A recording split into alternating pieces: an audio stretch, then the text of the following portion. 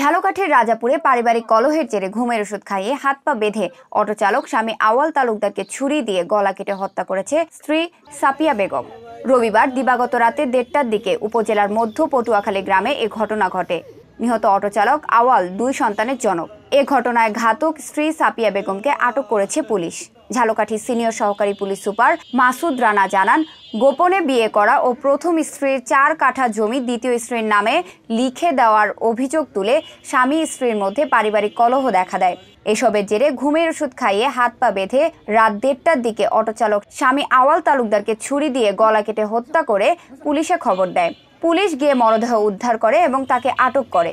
এ ঘটনায় নিহতের ভাই আবুল হোসেন তালুকদার বাদী হয়ে সাপিয়ার নামে মামলার প্রস্তুতি নিচ্ছেন। যে তার ছেলেকে মেরে ফেলতে পারে, তার জমিটা অন্য একটু মহিলার নামে লিখে দিয়েছে। এই ক্ষোভ থেকেই তার স্বামীকে তিনি হত্যা করেছেন, যাতে ভবিষ্যতে তার ছেলে দুটো বেঁচে থাকে।